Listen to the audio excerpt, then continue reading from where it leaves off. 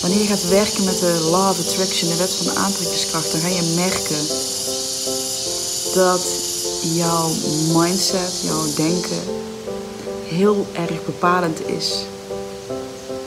Dus wanneer jij niet bereikt wat je wil bereiken in je leven, dan weet ik bijna zeker dat dat door jouw mindset komt, door jouw programmering, door de overtuigingen die op dit moment door je gedachten heen bewegen. En zeker wanneer jij iets wil creëren wat groter is, wat misschien wel iets heel nieuws is wat je wil aantrekken, wat, wat je nog nooit in je leven hebt gehad. Dat was in mijn geval wel zo natuurlijk. Ik heb nog nooit in een miljoenenhuis gewoond en ik wilde voelen hoe dat, hoe dat voelt. Wat dat met mij zou doen. Puur omdat mijn intentie voor dit jaar overvloed creëren is. De law of attraction zegt dat wat je aandacht geeft, dat groeit. Dus het zou heel krom zijn als ik in een, een kamertje van 10 euro per nacht zou gaan slapen, terwijl ik juist in overvloed wil gaan leven. Dus wat deze wet van je vraagt, is om stappen te zetten die je wellicht nog niet durft te zetten. Om al daar te zijn waar je wil zijn. In ieder geval vanuit een innerlijke staat. Zodat jij voelt in jouw hele systeem, in je gevoel en in je gedachten, dat jij al hebt wat je aan wilt trekken.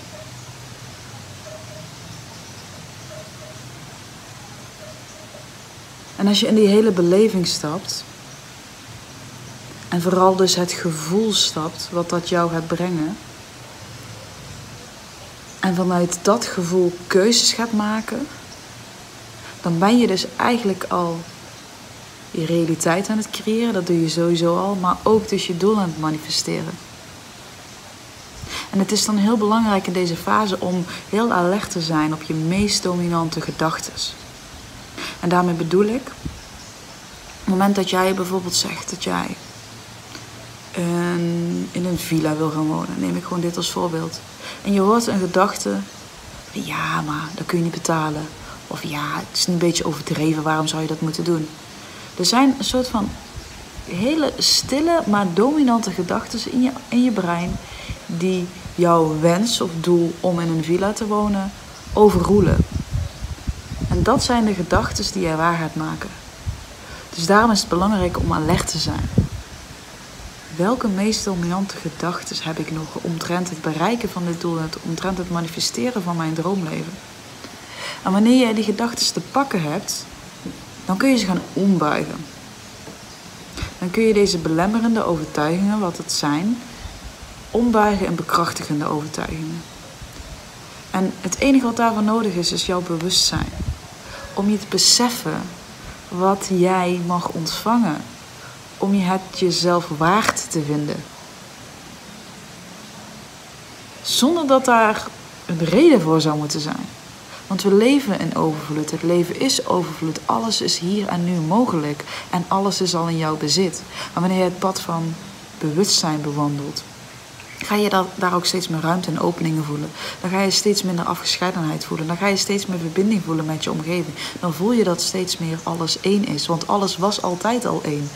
Alleen je leefde te veel vanuit je hoofd, waardoor je dat niet kon realiseren. Maar wanneer je het pad van realisatie loopt, dan ga je voelen dat alles met elkaar verbonden is. Zo ook jouw droomleven.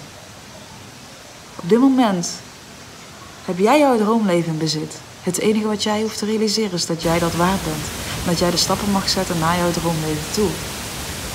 En dat is iets wat ik de afgelopen twee jaar, tweeënhalf jaar, voor de volle 100% aan het doen ben en aan het omarmen ben. Ik ben echt gewoon blown away voor, voor wat er allemaal mogelijk is in dit leven. Wanneer wij de creator worden van ons eigen bestaan. Want dat zijn we.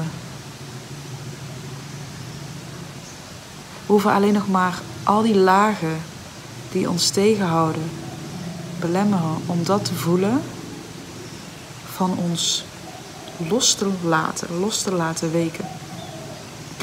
En dan zeg ik alleen maar die lage losweken. Nou, dat kan natuurlijk een behoorlijke klus zijn. Maar dat zou niet je instelling moeten zijn van... oh, dan moet ik keihard gaan werken om, om ervoor te zorgen dat ik die ruimte ervaar.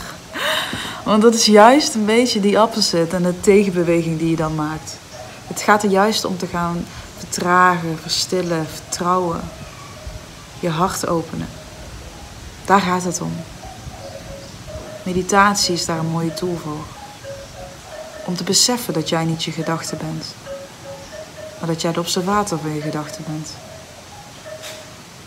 En als jij steeds meer in je hogere zelf gaat stappen en steeds meer vanuit die positie in het leven gaat leven, belichaamd, dan ga je dus merken dat je vanuit een soort van moeiteloosheid jouw droomleven creëert.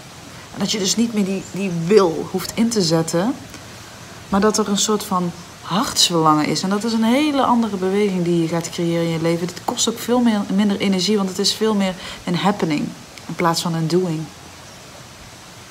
En daarin plant jij dus jouw intenties en jouw zaden waarin jij jouw droomleven wil manifesteren. En daarin blijf je bewegen en onderneem je ook zeker acties. Maar dat doe je dus vanuit een ander, ander besef. En het besef daarbij is dat jou, dat het niet om het doel gaat, maar om de bestemming. It's not about the destination, but it is about the journey. And if you step into the journey, als je in, in, jouw reis stapt, helemaal, met je droomleven in het vooruitzicht, maar weet dat het droomleven nu is, dan ben je er en zal je er zijn en beweeg je ook naartoe. En kun je dus in een volle expressie van het leven stappen. Dat is zo, zo gaaf. En eng en onconfronterend en soms echt kloten. Maar het is vooral heel gaaf en dankbaar en vol leven. Een leven vol leven. Laten we daarvoor gaan. Want we hebben niet zo heel lang hier. Dus laten we voor een leven vol leven gaan. ik wens jullie een enorm fijne dag. Ik ga genieten van de laatste dagen in dit huis hier en dan eh, gaat onze reis weer door. Ik wens je een fijne dag en uh, tot de volgende keer.